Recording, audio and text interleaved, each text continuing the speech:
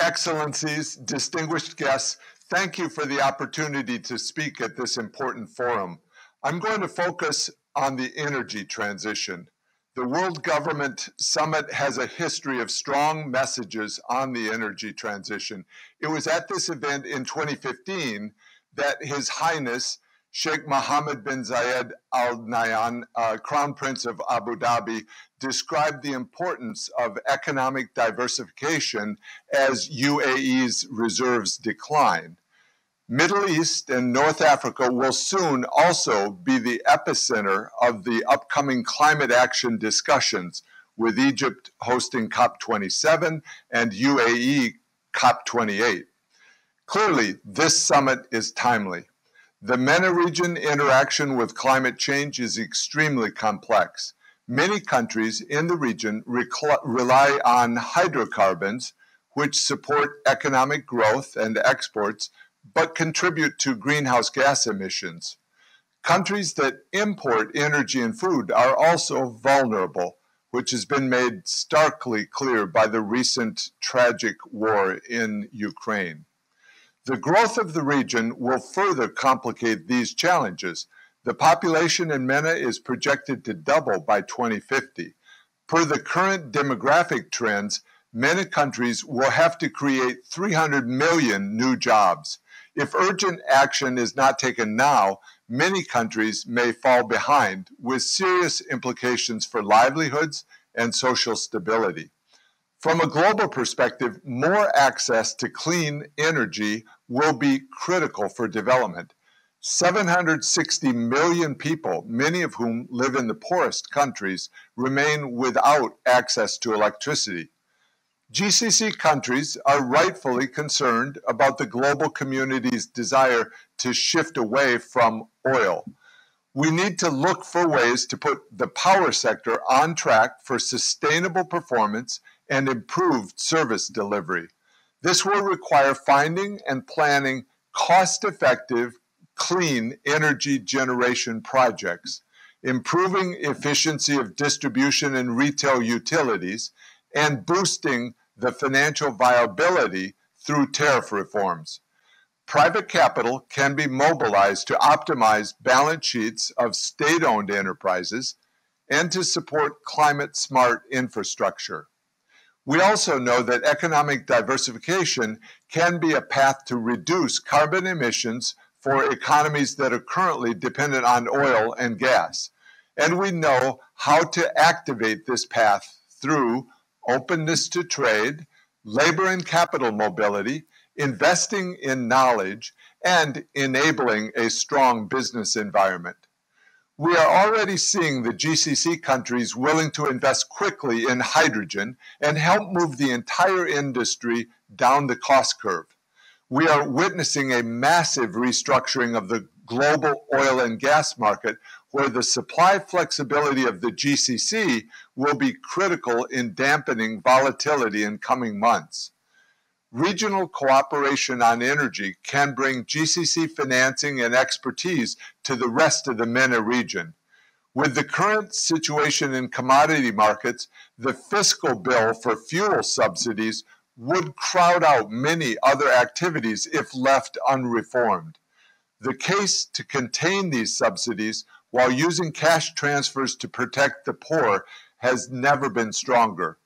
The region can make uh, major progress through efficiency gains in the transmission and use of energy, including in air conditioning.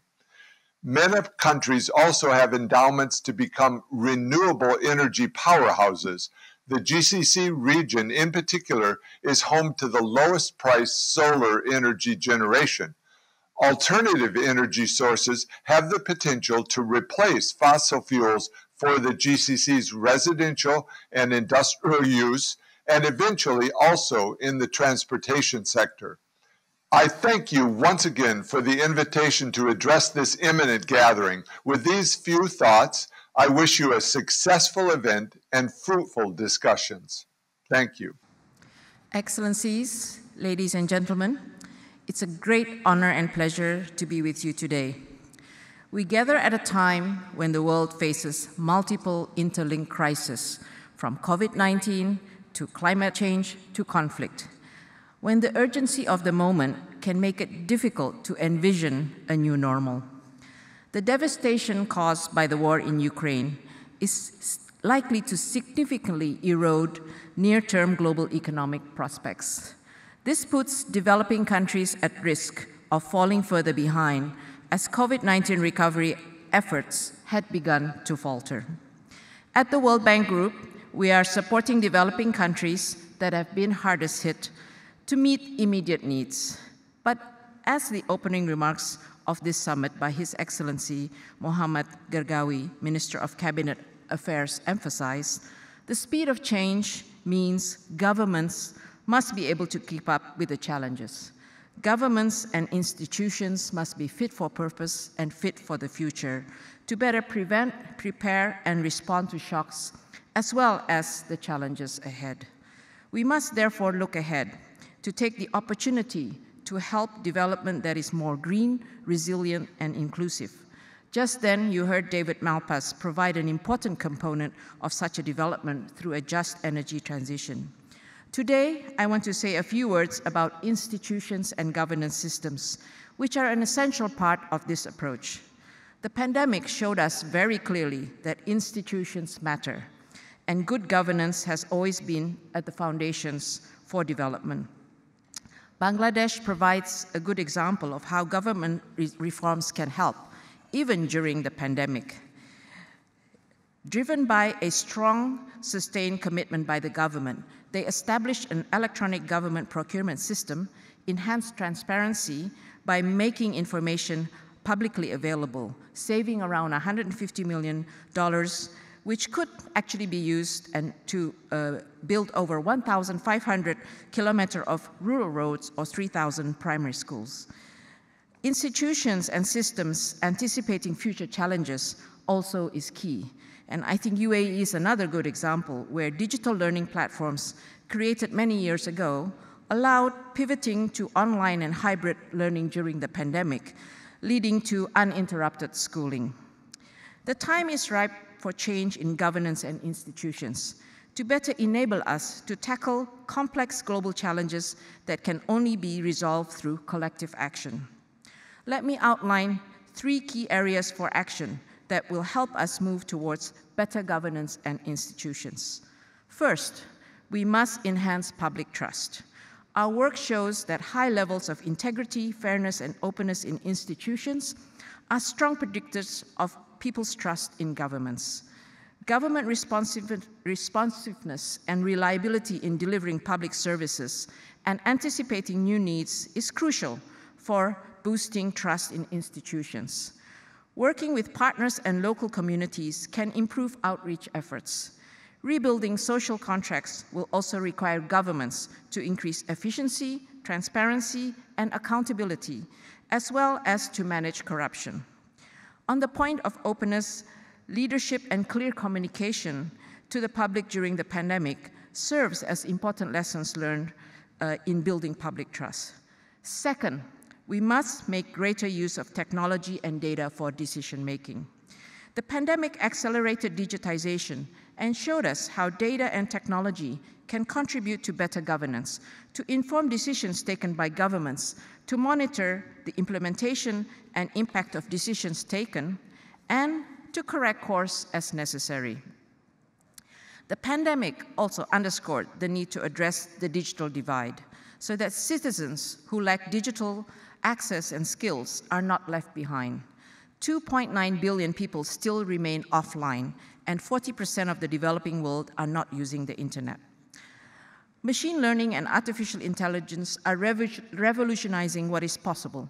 At the World Bank, we are piloting AI-based solutions for procurement and financial management and data analytics to support government systems and monitor high-risk projects. Governments can play and should play an important role in fostering private sector participation in the public sector and harnessing the innovations of tech companies around the world while providing a trusted digital ecosystem and protecting users. Third, we must build the institutions required for risk identification and crisis management. Every government needs to build out its capability of long-range risk forecasting to improve their capacity to deal with future crises and challenges. Critical decisions need to be made swiftly as crisis impacts may spread beyond national borders and trigger significant economic, social, and environmental effects.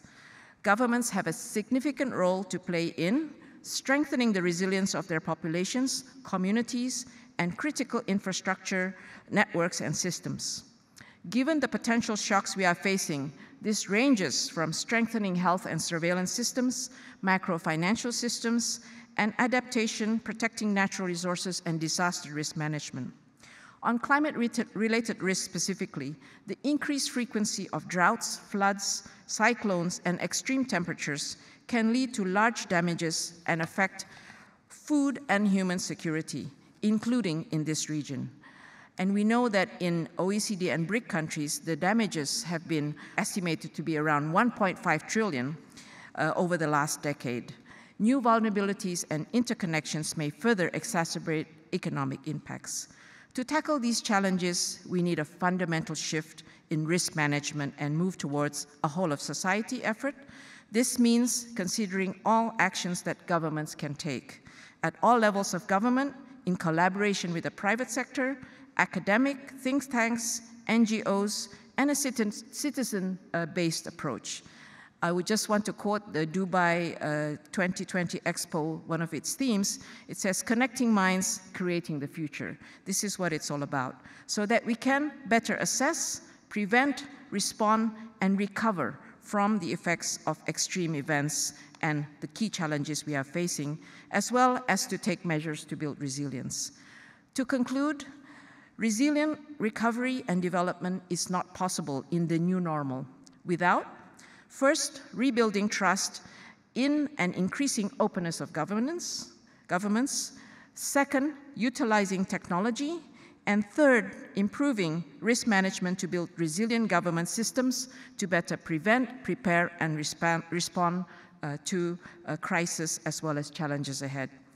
This involves reimagining the government. That's precisely why we launched the Future of Government initiative at the World Bank to help developing countries identify the various pathways for that transformation and to accompany them in the journey. Moving forward in these three areas will enable us to navigate the challenges ahead towards achieving green, resilient, and inclusive development, which will benefit the well-being of the peoples of the developing countries and meet the SDGs. I thank you, ladies and gentlemen and excellencies.